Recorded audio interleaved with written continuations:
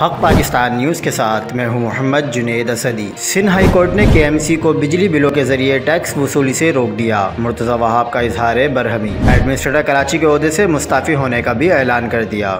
ताज़ा तरीन वीडियोज़ के लिए चैनल को सब्सक्राइब करके बेल आइकन और ऑल नोटिफिकेशन पर क्लिक करें।